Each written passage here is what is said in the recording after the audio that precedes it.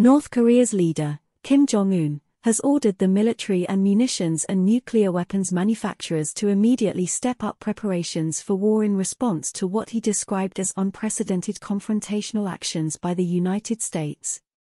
This was reported by Reuters, citing North Korea's official media, which reported that Kim had issued a task to the People's Army and munitions manufacturers, nuclear weapons, and civil defense sectors to immediately increase readiness for a possible war.